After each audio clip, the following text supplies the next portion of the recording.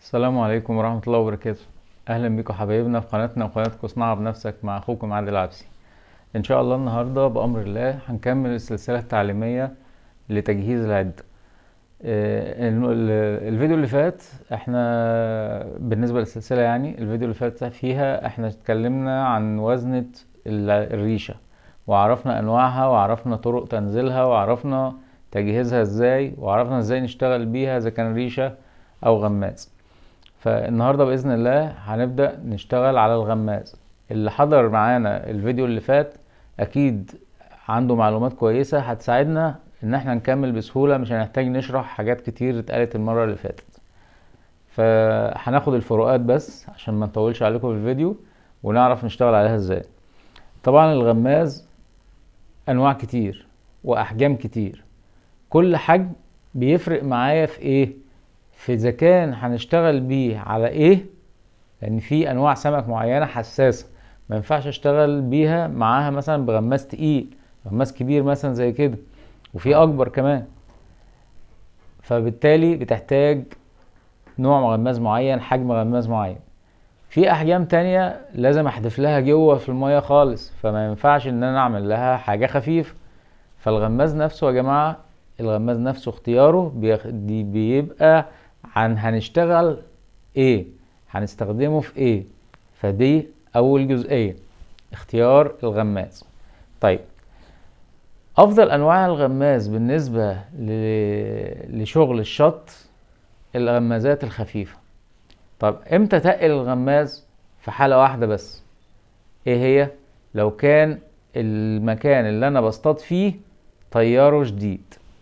كل مكان فيه مجرى مائي بيجري معايا قصادي بتقل الغماز أو بمعنى صح بكبر الغماز وبتقل الرصاص. علشان إيه؟ عشان يبدأ يخديني ثبات شوية ما يخلوش يجري بسرعة قوي. دي نقطة.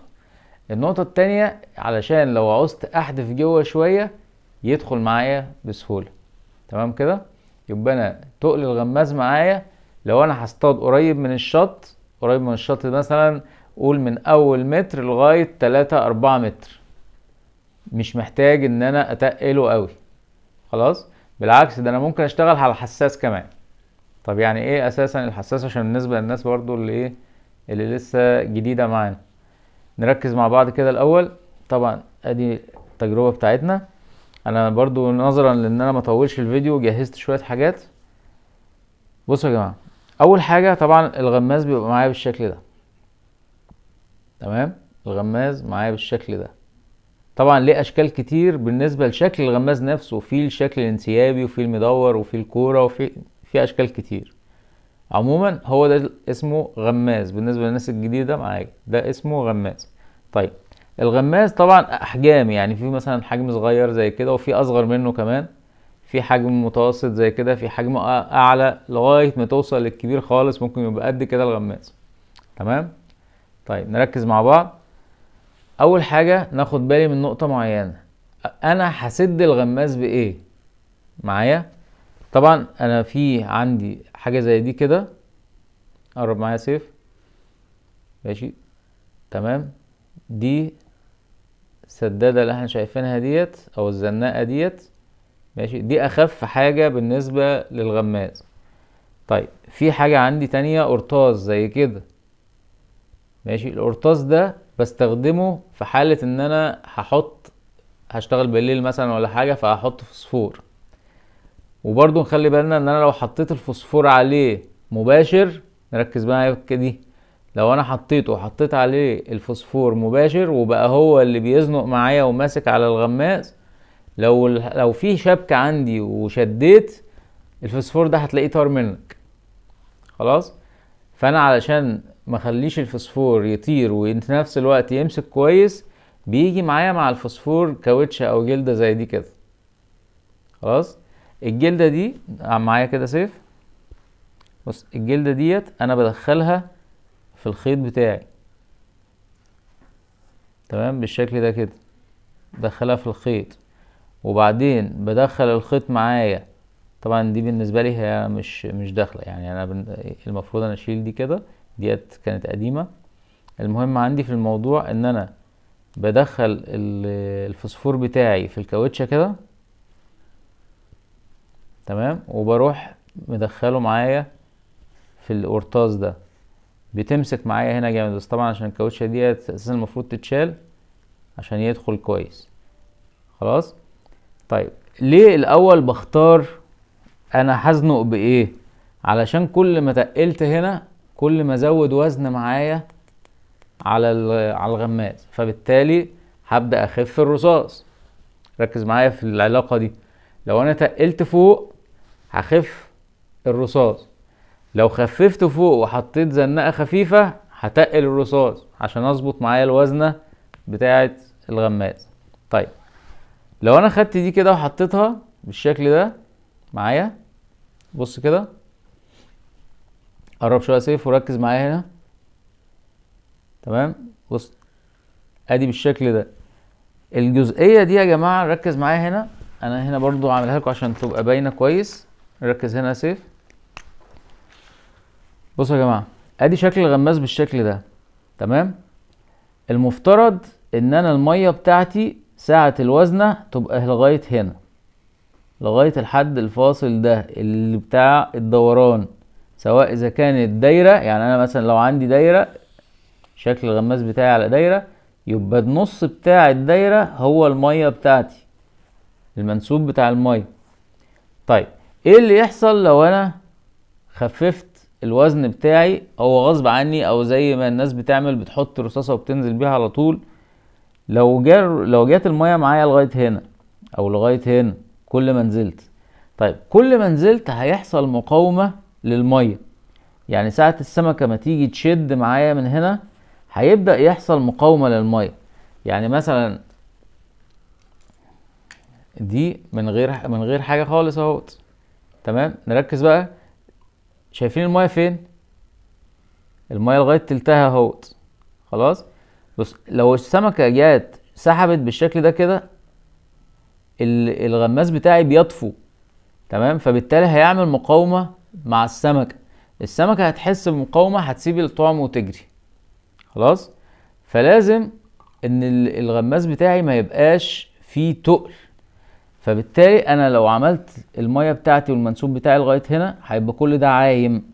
وكل ده عايم معناها إن في مساحة هواء مخلية الغماز تقيل. عشان ينزل لازم شدة جامدة. طيب أنا السمكة بتيجي تشد معايا. بتشد معايا يبقى في الحالة ديت هيحصل إن الغماز مش هينزل كويس هيعمل مقاومة للسمكة السمكة هتهرب مني. فأفضل شيء للغماز إن يبقى المنسوب بتاع المية على الداير بتاعه. بالشكل ده كده. طيب افرض زودت شوية. هو أنت ممكن يا جماعة بص معايا ممكن تزود غصب عنك وممكن تزود قصد. يعني أوقات أنا بعملها. أنا ساعات بزود قصد. بس بزود قصد ليه؟ علشان أشتغل على حاجة اسمها الحساس. أشتغل على الحساس إزاي بقى؟ الناس اللي متعودة تشتغل بالفله أو تشتغل بالريمة واخدة على إن أقل همسة بيسحب. تمام؟ بتبان معاه بسرعة. لو أنا زودت معايا لغاية هنا معايا كده لو أنا زودت منسوب المية بتاعي لغاية هنا تقلت الرصاص معايا شوية بحيث إن اللي يا دوبك الجزئية دي بس اللي ظاهرة عندي بره الميه ماشي كده؟ في الحالة ديت أغلب الغماز داخل الميه ماشي كده؟ أغلب الغماز داخل الميه طيب أقل حاجة الغماز هيسقط تحت. السمكة نفسها مش هتحس بيه. تمام كده؟ السمكة نفسها مش هتحس. ليه؟ لأن مفيش مقاومة. هي بتسحب خيط بس.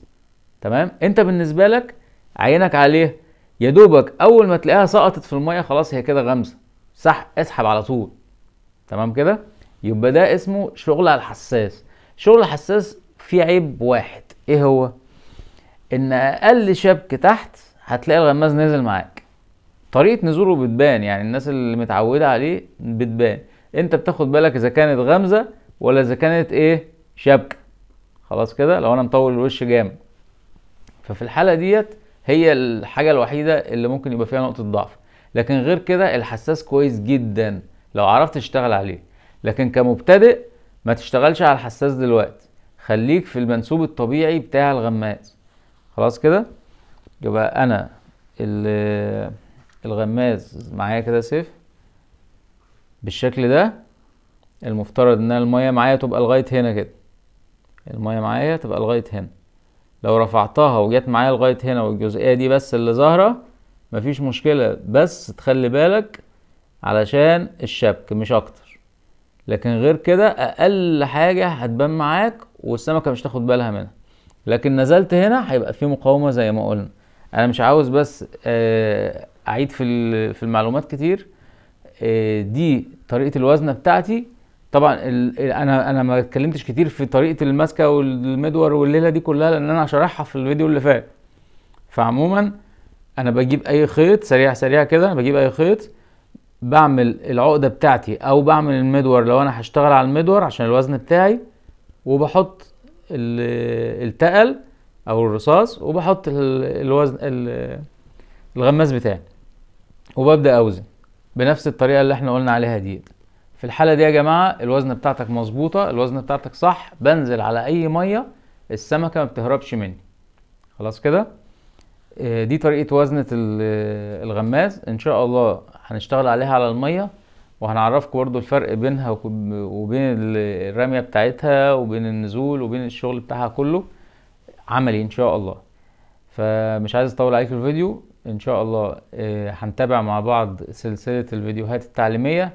وهتلاقوا موجود في الرابط في في صندوق الوصف الروابط بتاعة الفيديوهات السابقة للسلسلة كلها. تمام؟ للي حابب إن هو يراجعها يعني ولا حاجة. ولو في أي شيء عايزين تستفسروا عليه سيبوه يا ريت سيبوه في التعليقات. وما تنسوش بس الاشتراكات واللايك عشان الفيديو يوصل لأكبر قدر من المشاهدين وإن شاء الله مع بعض يبقى كل جديد وكلنا نفيد بعض بأمر الله. السلام عليكم ورحمة الله. السلام عليكم. لا تنسوا الإعجاب بالفيديو والاشتراك في القناة. تشجيعا لنا لنستمر بنشر المزيد إن شاء